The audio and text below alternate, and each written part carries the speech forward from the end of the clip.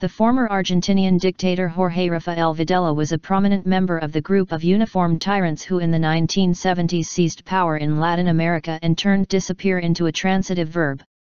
If he never achieved the worldwide notoriety of his contemporary Augusto Pinochet, in Chile, it was not for want of trying. He has died aged 87 while in prison. As many people as is necessary will die in Argentina, Videla told the region's army commanders, gathered in Montevideo, Uruguay, in 1975, to protect the hemisphere from the international communist conspiracy. He was true to his word. Months later, on March 24, 1976, the armed forces overthrew the inept and chaotic government of Maria Estela Martinez, Isabelita, the widow of Juan Domingo Perón.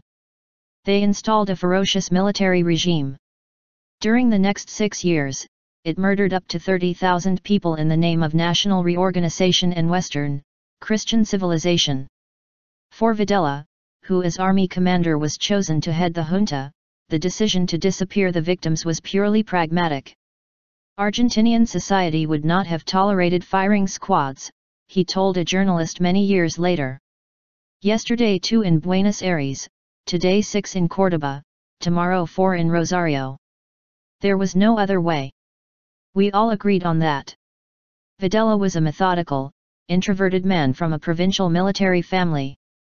Born in Mercedes, to the west of the capital, he was brought up beside the Buenos Aires barracks where his father, a colonel, was serving.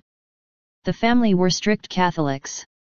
When sentenced to house arrest in later life, his greatest regret, he said, was that he could not attend Mass.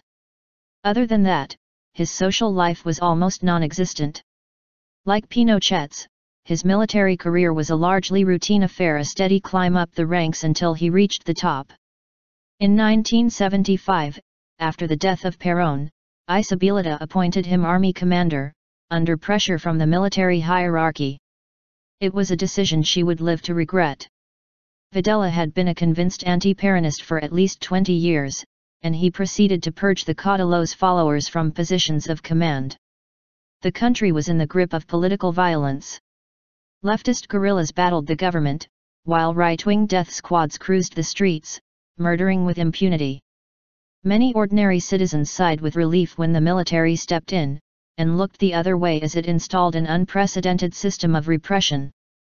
Not just guerrillas, but trade unionists, journalists and dissidents of all kinds were kidnapped, tortured and killed.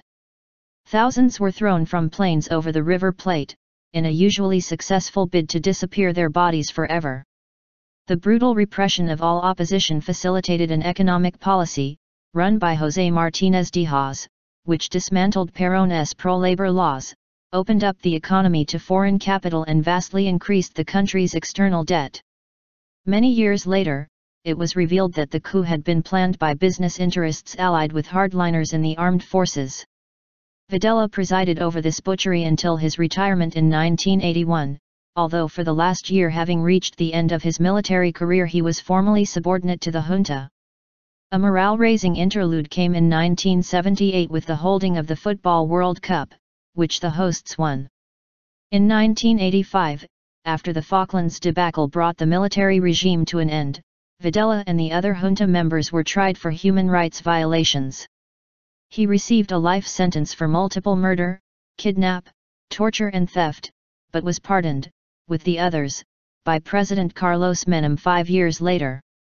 Videla did his best to sink into quiet obscurity, leading an austere existence marred only by occasional outbursts against him by enraged passers-by who recognized him in the street. But it was not to last. An investigation sparked by a demand from the grandmothers of the Plaza de Mayo into the systematic theft of babies born to political prisoners led to court rulings that put an end to his immunity. In 1998, a federal judge ordered him to stand trial for the illegal appropriation of minors, a crime not subject to a statute of limitations, and excluded from amnesty laws. He went briefly to prison and was then placed under house arrest on account of his age. It is estimated that more than 500 young children and babies were illegally adopted, and their identities changed, during the so-called Dirty War. Many were taken by the families of the military themselves. In March 2004, the German government said it had requested the extradition of Videla and two other leading figures in the dictatorship, in a case involving the disappearance of around 100 German citizens.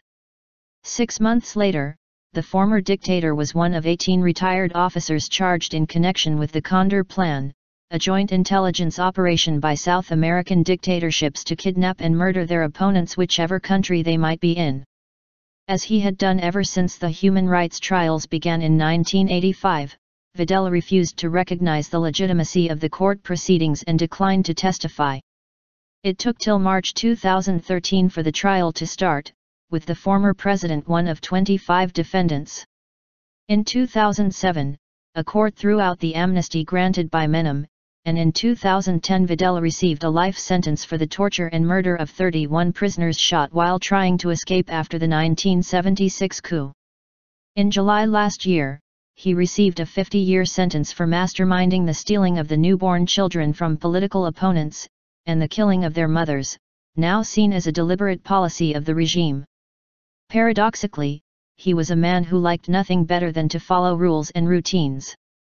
Although he had no scruples about violating the right to life, he was a fanatic about regulations. During his five years of military detention, it is said, he had in his possession the key to the door, and freedom. Yet he never used it. He and his wife, Alicia Hartridge, had seven children. Jorge Rafael Videla Almorozo, junta leader, born August 2, 1925, died May 17, 2013.